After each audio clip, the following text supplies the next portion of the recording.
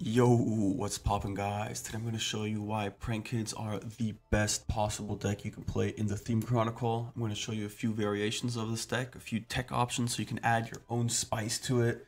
And then I'm going to go through some nasty replays showing off the normal combo lines, showing off the lines you can do with extenders, and I'll teach you guys how to use chain blocking in order to absolutely crush your opponents here. This deck has a super infinite grind game. You can recycle everything almost every turn. You can keep grabbing back your monsters to your hand, back to the field. You can protect yourself from destruction by card effects, from destruction by battle. Uh, you have one card combos, and you run a ton of non-engine, which lets you completely catch your opponent off guard. And that's all in addition to the normal combo, which off one card just gives you a quick effect Raigeki. You get to board wipe their entire field. All their monsters die instantly. All right, let's get into it. First thing that you'll probably notice is I only have 11 cards in my extra deck. And that's because you have four flex spots. I'll get to which cards you can play there at the end of the video. But just know this already. If you open Polymerization, you get to make any Exceed monster from rank 1 through 4 that requires generic materials. So something like Abyss Dweller, um, Gossip Shadow. You can just grab some free negates, uh, some free floodgates right off the bat. Um, I'm running the Parallel Exceed because I was running some rank 4s in here. There's some spicy tech options. Other than that, we're going to be running 3 of the green kid, 3 of the blue kid, 3 of the red kid, and 3 of the yellow kid. In addition to 3 of the fusion spell, 3 of the field spell, and 1 copy of pranks. We're not running the trap. I think it's a bit too bricky. Um, however, it is a viable option. You can definitely run one copy of it to send off of the green kid in your second turn. That gives you even more follow-up, even more grind game, but you don't ever really want to see it, to be honest. Uh, we're also running three copies of Polymerization and Parallel Exceed for our extenders, in addition to Monster Reborn. This lets us play around the most crushing hand trap for this deck, Ash Blossom, and then, of course, they're also running the Crossout and two Call By, in addition to Maxi, Ash Blossom, Veiler, and Nibiru. Um, Effect Veiler is better than Infinite Impermanence in this deck because you will be drawing a card during the end phase, meaning that you cannot set your Infinite Impermanence, and since you control cards, since you will be having uh, at least your continuous spell on the field, um, and usually your monsters too, right? Uh, it will be turning off the Infinite Impermanence. All right. So why would we run this deck? It's because any single prank kid, so that's 3, 6, 9, 12, and the search is one, so 15 out of 40 cards uh, are full combo by themselves. And then you have all the non-engine and extenders. You get to draw two during your combo. That's crazy. Um, so let's get right into the replays here. All right, for our first replay, we're going to be playing against Weather Painters. That's a deck I'm going to make a video on after this for the event. So we're going to Effect Veiler the Snow. Now, an important thing about Weather Painters, which you'll see in the next video, or if you've already watched my other Weather Painter videos, you'll know this as well. Uh, if they have the canvas out, they can actually dodge the Veiler by tagging out. But since they didn't start with it, that tells me they don't have it already, and they're using the snow to search for it. So this is a safe negate unless they have By, in which case it doesn't matter anyways, right? So they're going to end the turn here. I have the Ash Blossom to negate a Maxi, and they have two card sets. Um, one of these cards is in an adjacent column, so that tells me that whatever this back row is on the right side is most likely a canvas, and whatever is all the way on this side is most likely some non-engine. So I'm hoping it's not a floodgate. Um, we can't really play around those without prior knowledge, but we can try to play around imperm or call by to the best of our abilities. Unfortunately, not really with this hand. We'll just have to hope they hit something that doesn't really matter. And we draw the Prank Kids place. This already lets us chain block, which is amazing. So this is the first lesson. Uh, we link off into our cat. This is as per usual. And now we're going to chain link one the kid and chain link to the field spell. Now, if we didn't have the field spell and we only use the kid here, if they had Ash Blossom, our turn ends. So that really sucks. So what's really good here is we have the field spell to chain block the dropsies because you can't Ash Blossom the, this effect. This just uh, decreases their attack. Uh, the cool thing is this works even if they don't have any attack to decrease as uh, the Weather Painter Snow has zero attack, we can still use this to prevent them from using Ash Blossom on our kid here. So we're going to summon out always the green kid here, and then we're going to go into Doodle do. Now we can chain link one, the uh, kid in the graveyard, chain link two, the Doodle do. and as you can see, they have Ash Blossom here. So that's the reason we chain link it this way. Um, the kid gets you another kid and dumps one of your Prank Kids cards to the graveyard, and the bird adds a Prank Kid spell trap from your deck to your hand. So we're losing the spell trap that we're adding here, and we're also getting max seed. So we're gonna fire off our own Ash Blossom here in response. If they had a call by on this Ash Blossom, we would at least get our Doodle Doo to resolve, and that would get us access to both of the spells we want to be searching during the combo. This way, because we made the green kid second, we get to guarantee access to one of them. So we're gonna force this out, and it turns out they're actually on the Aurora, so we can't really beat over it, unfortunately. But we get to tribute off the bird, and now we get to add back the spell that we sent. This is how we always guarantee access to the spell. Now, the problem is that uh, the ban list hit Meowmoo, so it's only a one copy. Uh, this means the only way we ever get back our one card combo is if we actually search for the pranks to shuffle it back. Now, I don't really feel threatened at all by um, weather painters, to be honest. So I don't really care here. So I'm just going to go for pranks, assume I will live another turn because this deck doesn't really do that much, let's be honest. Uh, it needs some turns to set up. Uh, if I don't do anything in my next turn, I will like 100% lose. But I have a turn easily. So I'm just going to go for a bit of a, a, longer grind game. And as long as they keep them off uh, too many resources, we're super fine. So we get to use this to pitch any Prank Kids card to summon out the token. Now we go into our second Doodle Doo. It can't use this effect, unfortunately, because it is a hard once per turn, but this lets us link off the Rocksies. Now, what I should have done here is banish the Nibiru, but I'm greedy. I have no clue why, uh, but like they're never going to play into Nibiru, right? They will summon once in standby phase, and then maybe they'll summon another monster, so that'll be their second summon, and they'll go into Link for three, and then they already have their negate, but they're not getting that many summons anyways. So Nibiru's kind of dead in this matchup. You should get rid of it here. So we're going to end our turn here. Prank's going to shuffle back the cat and one of our links here, very important. And we're drawing to the second Maxi. Unfortunate, but we're going to fire this off in the draw phase before the standby phase resolves because I'm pretty sure they have priority to summon this back here. Now we're getting our fusion spell. That's really nice. We're tagging out the link to add back two guys to her hand. That's just more advantage, more follow-up. So it'll be over the green kid. I don't really care. And they're setting another card here. Now, they didn't want to give me another draw under max seat, but they could have used uh, the rainbow canvas, tagged this out for something else, and then they would have had a negate live next turn. But they decide to just sit on this, not to give me any draws. They're going to be setting a card here. And since we shuffled back our cat, we get to go into another one here. Now we're just gonna combo off a little bit, chain block this again, reduce their attack, so we get to be over everything. Make a doodle do, and it was imperm from the first turn, which we get to dodge by activating our quick play right here. Now, I could have also gone for the rocket ride, which lets me tag out for two prankets from the graveyard, but I decided not to. We're going for this one. Um, this has uh, the secret hidden effect.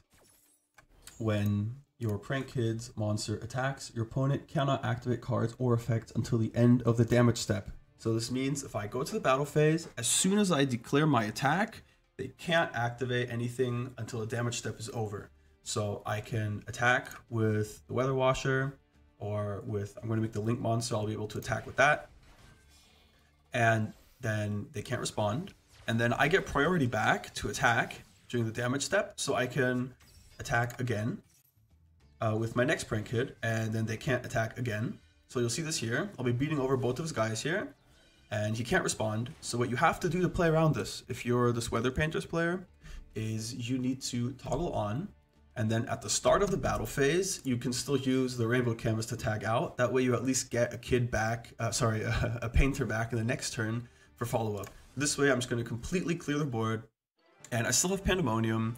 and I still have all my guys here, so I'm going to be able to make Butler again because I shuffle it back into the end, uh, extra deck during the end phase, so they're completely screwed from here. Alrighty, for this replay, we get to go first here. We're going to lead with not the green kid. Um, so I really prefer to lead with the red or the blue kid. The reason is if we get the green kid second, we get to chainlink one the green kid, chainlink two the bird, and then if they imperm or ash the bird, we get to respond. Um, well, not respond, but on resolution, we get to choose which spell card we want to send with the green kid, and that way we can guarantee to get um, the spell that we need for our hand into rotation. Because normally I would add the pranks continuous spell off of the bird, but since I already have pandemonium here, um, I would send it off of the green kid if they imperm the bird, right? Because if I already sent the pandemonium off of this kid, then I would lose access to pranks, which would be kind of terrible. And I prefer to use Rocksies last, uh, unless I'm doing the poly combo for a rank 4. Uh, more on that later. I prefer to use this last because I'm pulling out a bunch of prank kids out of my deck, summoning them from the deck, sending them from the deck to the graveyard. So when I draw with the Rocksies, I'm more likely to actually um, draw into a non-engine card, which gives me an additional disruption for free.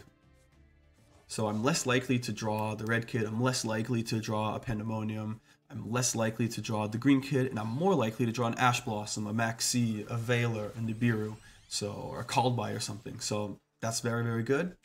That's why I use them last. That's also why I run through two of the birds during my combo. You're playing into Nibiru anyways, so this just uh, takes up an extra deck slot for another draw, but it's also great for your grind game anyways. I prefer to banish the green kid if I can because uh, I don't like using the green kid past turn one. Turn one, it's so good. It's so necessary turn one. You need it to get both of your spells, the pranks and the pandemonium into rotation. But afterwards, you empty your deck a bit too fast with it, and it kind of inhibits your grind game a little because you're forced to send in order to um, actually get the summon. And important, we shuffle back the cat here, so we have it for next turn. We shuffle back a doodle doo.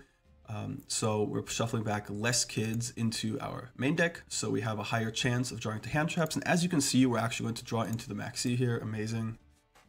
So we're going to fire this off uh, in the standby phase here. We're going to Ash Blossom this, and here I'm going to decide not to use the Call By uh, because I prefer to get my Ash Blossom through. Um, this way I have Called By and Ash Blossom as interruption, otherwise I would have Maxi, which could potentially draw into um, more hand traps. Uh, and it could also help me with my double pandemonium since it's not a once per turn. So I could make more fusions. It's probably better to uh, let that resolve. But we're going to use this here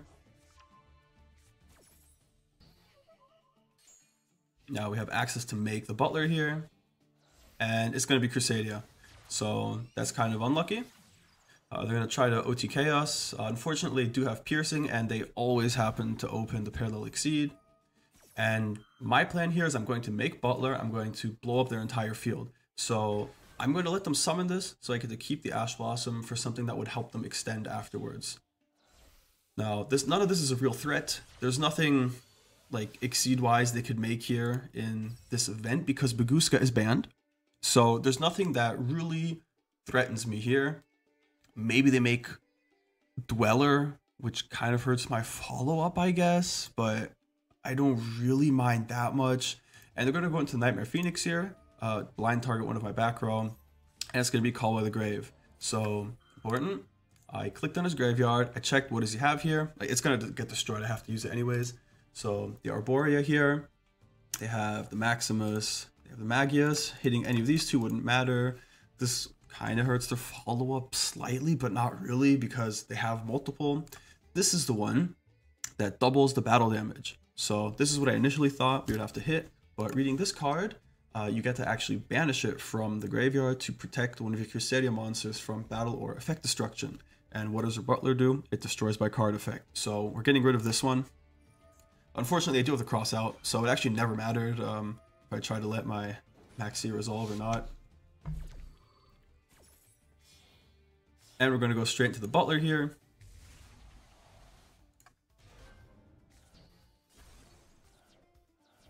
Alright, and I like putting the Green Kid on the last chain link. Uh, because if this one gets negated, that's great for me. I don't care. I have enough bodies, and I don't run through my engine as fast.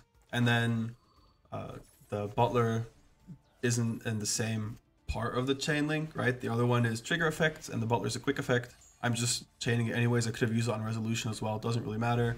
And they pass here because they've already spent their normal summon. I already popped their entire board. They have nothing left here. And with all these monsters on the field, uh, they already see the writing on the wall. All right, in this hand, we open a nice extender, so I'll be showing that off. We unfortunately open with the Green Kid, but we already have the pranks. So I'm just going to send the Pandemonium anyways, and then even if the bird gets negated, I already have access to both of these. So just going to go through a normal combo, make sure to summon the rocks last so we get the extra draw here. And here I decide I don't really want to lose any of the cards in my hand since Rocks does banish one. So I'm going to actually search for place here since I already have access to all uh, of the spells that I need. And with the place, I get to put it on the field. This helps me chain block stuff later on. It helps me boost my attack, lower my opponent's attack. It empties my deck a little bit for my two draws later on, so I'm more likely to draw into hand traps. And um, I don't really care about fansies later into the game, so I'm just going to banish that one. And I've played well past Nib. Uh, if they would have could have nibbed me, they would have done it already. So now we can extend to Parallel Exceed here. Gonna summon out another one. And what I've decided to go for this game is the Giant Hand. So this is just uh, when my opponent activates a monster effect on the field, I get to detach two materials, then target an effect monster they control, and just negate that and it can't change its battle position as long as the giant hand is on the field. So it's just a free monster negate. I get off the parallel exceed. And now we're going to, after pulling out the second parallel exceed from our deck for even more deck thinning, we're very likely to draw into non-engine like hand traps here. We're going to go into our dog, get rid of this, and we unfortunately still draw a Prankid. So that's kind of unlucky. But we make sure to shuffle back um, the link 2 and the link one. Remember, we went through two copies, that's why there's still one here. And the reason we shuffle back green here is because we had one green engrave, one on field, and one banished. And I want to have one in deck to summon out so I can keep uh, going through the effects. Uh, so I'm going to shuffle back the green kid here. So here we have access to Butler, we have Call By, Maxi, we have the Giant Hand, and they have the Call By for the dog. Now, the reason why I use the dog first is because this lets me um, resolve Maxi through the call by. If they have Ash and call by, I'm kind of screwed, right? Anyways, doesn't really matter. But I still have access to two prank kids, so I still get to go into my weather washer, which lets me summon back two prank kids from my graveyard with different names, and they can't be destroyed by battle. So I'm pretty much guaranteed to live here anyways. And they're also under Maxi. That's what I would say. Oh wait, they are under Maxi. They have the droplets actually. That negates my, my giant hand. They're going to normal the Armageddon Knight. And I'm just going to call by this right away. Uh, important. Uh, well, they're going to surrender. Uh, important about the Orcust Harp Horror is uh, you can banish this card from your graveyard, semicolon, special summon one Orcust monster from your deck, and everything before the semicolon is for cost. So if this card gets to activate, it will banish itself for cost, and it's not in the graveyard anymore, so I can't target it with Call by the Grave. So very important uh, I have to have my toggle on. Uh, there's actually a setting. I'll show you the next replay. Um, make sure your toggle is on. And on resolution, when this gets sent to the graveyard, I'm going to banish it right away with a call by. Uh, if they have the field spell, this becomes a quick effect, so that doesn't work anymore. Don't get baited by that. But that's why you have to make sure your toggle is on. And yeah, they just surrender here. Alrighty, this replay was a real banger. My opponent actually was able to play through the board I set up and we had a, a real good back and forth here. And I'll go elaborate on the reasons why I did my chain links the way I did, and why one of the things I did was, in my eyes, a misplay. Alright, so we're going to go through the combo normally here. Just as per usual, making sure to use the green kid second. That way, as you can see, we have access to both of our spells here. Even um, if they impermed us, we only get one, but we get to choose which one it is. Just gonna go through a normal combo, make the second bird. summon out the yellow one, make the dog. Now we're to get rid of the green one because I don't like it as much, and we draw into polymerization.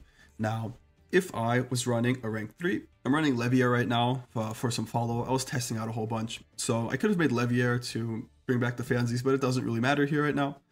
Um, if I was running Gossip Shadow, I would be able to summon it out by using polymerization for the two monsters in my hand here.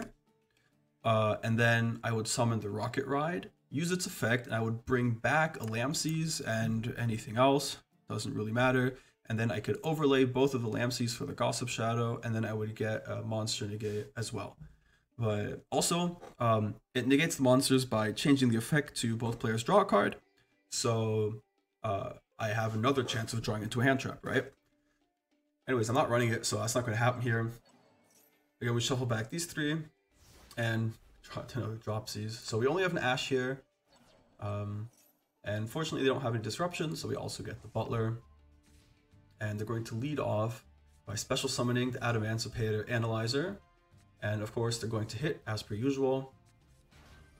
And I'm not going to let Doki Doki resolve because this could get them a Quacky Guardian, which gives them a monster negate. So that would be pretty depressing. That would just kind of crush me. And here they're threatening making a Dragite.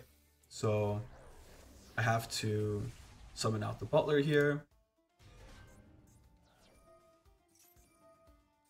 It's not actually live, but if they have like a Kartoran in hand or something, then they would be able to um, actually uh, discard it for its cost, and then Dragite's in the grave and it's live already. So just gonna sum this out. Um, I'm not sure I should have used Butler here, to be honest. I think I should have let them play a little bit more and then pop it.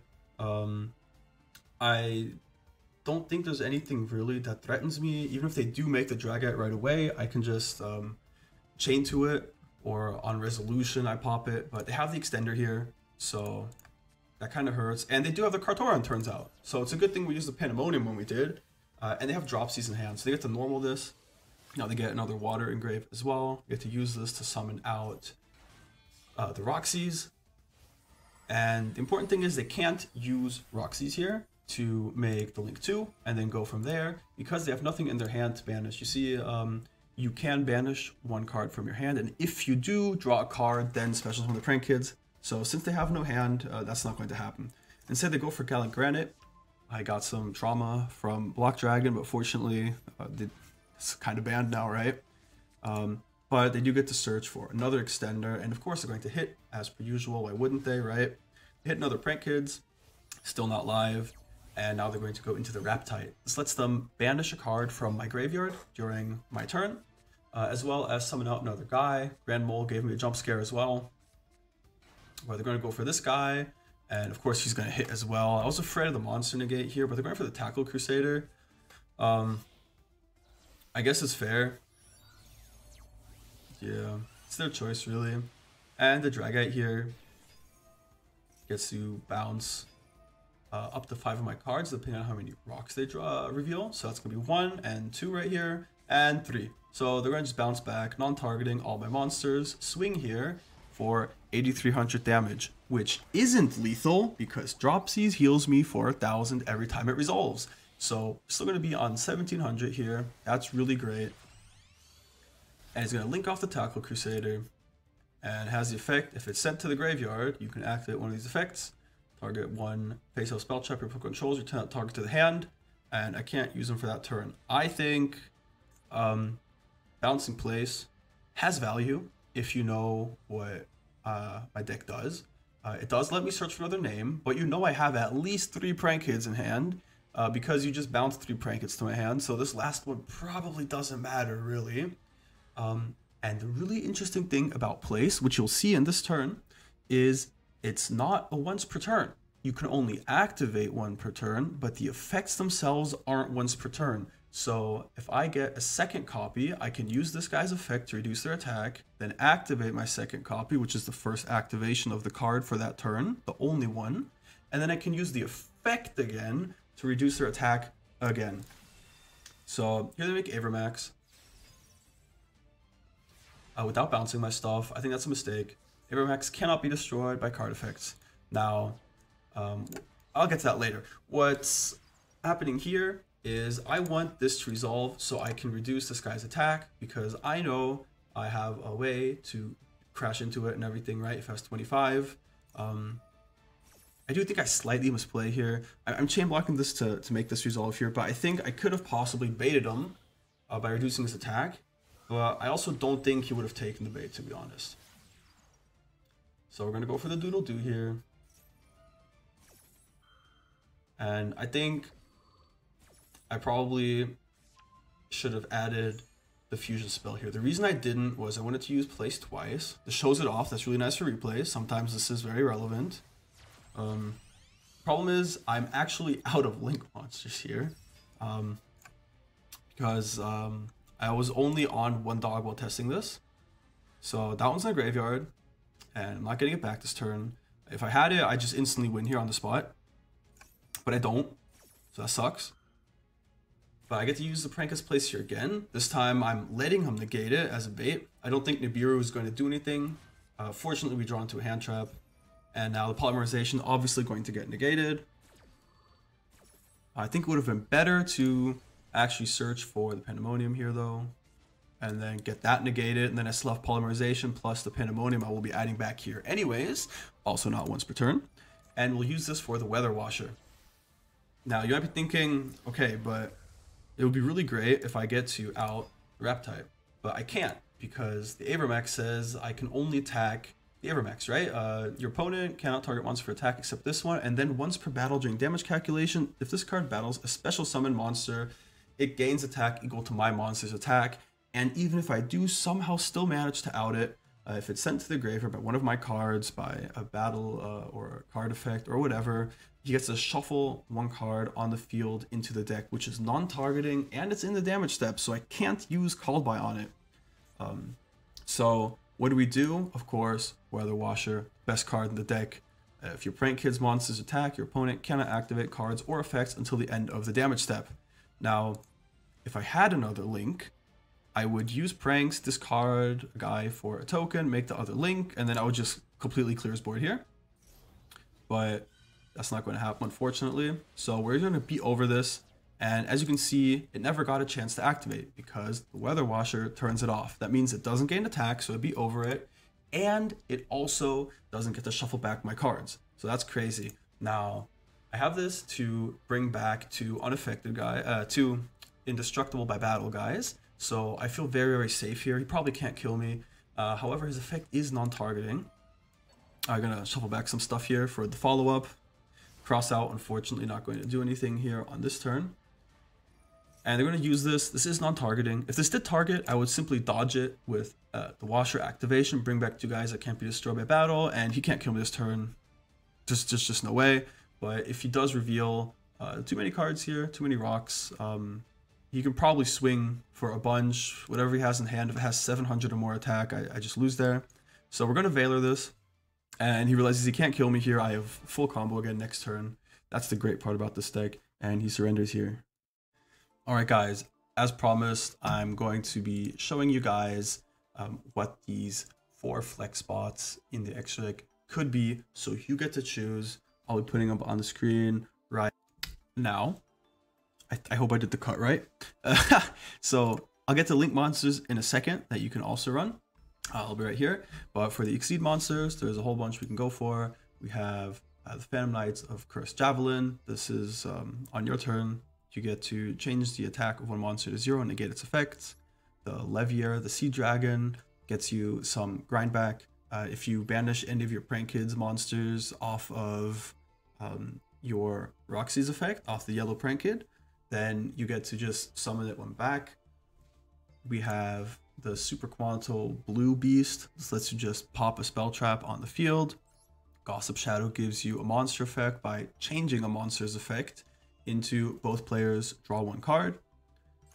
The Cicada King also just gets to um, negate a monster on the field when it activates its effects.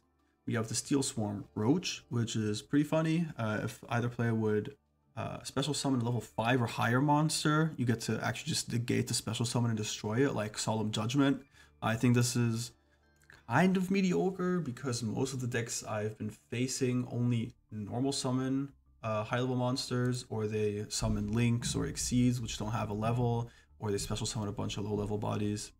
Uh, we also have Evil Swarm Nightmare, which similarly, uh, if your opponent special summons a monster, however, this is just any monster at all, you get to flip that face down. It's just like Book of Moon. Uh, it doesn't work on link monsters though. Dweller uh, hurts a few decks decently. Uh, for example, you win the mirror match instantly uh, because the kids can't activate in the graveyard. We have the Giant Hand, which is uh, basically the same thing as the Cicada King. It's just uh, when an opponent's monster activates its effect on the field, you can target one of the monsters negate it. You have the Exciton Knight, uh, which gets like pop a bunch of stuff. Um, I don't think this will really come up, to be honest, since uh, your opponent needs to have more cards than you do. And this deck gets so much advantage. You special summon so many guys you draw so many cards, you add so many cards back to hand, and this also pops all of your cards, so that gets rid of your continuous spell, which you really want to keep. Um, we also have the Dark Rebellion Xyz Dragon. This just helps you push for lethal here. Um, basically, you just uh, detach two materials from it, and then you get to uh, have the attack of an opponent's monster, and you just steal that for yourself. So that really helps uh, go for damage here and be over big cards.